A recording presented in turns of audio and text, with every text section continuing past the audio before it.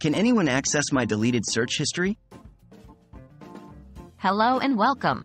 Today, we're diving into a topic that's at the forefront of everyone's mind in the digital age online privacy. Specifically, we're answering the question Can anyone access my deleted search history? Let's get started. What happens when I delete my search history? When you delete your search history, the data is removed from your device and from the record that your browser maintains. The purpose of this function is to help protect your privacy. But does that mean it's completely and irrevocably gone? Not necessarily. Your Internet Service Provider, ISP, can still have access to your search data, as they route all your internet traffic. Moreover, if you were using a search engine like Google while signed in, they could still have a record of your search history, as it is linked to your account.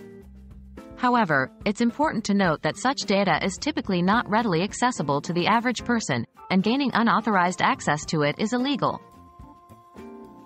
Can third parties access my deleted search history? In general, third parties, like hackers, cannot directly access your deleted search history. However, if your system has been compromised by malware or a hacker, they could potentially view your history. This is more about the security of your device than the fact that you have deleted your search history. It's crucial to understand that once you delete your search history, it doesn't exist on your device or your browser. But, as we've mentioned earlier, it could exist in other places like with your ISP or search engine servers, but accessing this information would involve significant legal hurdles. How can I further protect my search history? While deleting your search history is a good start, there are other steps you can take to enhance your online privacy. 1. Use incognito or private browsing mode. This prevents your browser from storing your search history in the first place. 2. Use a VPN. A virtual private network encrypts your internet connection, making it much harder for ISPs or potential hackers to see what you're doing online.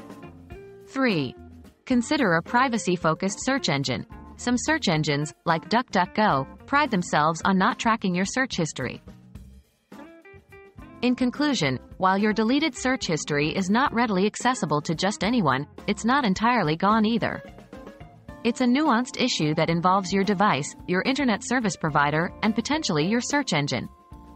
But remember, there are steps you can take to enhance your online privacy.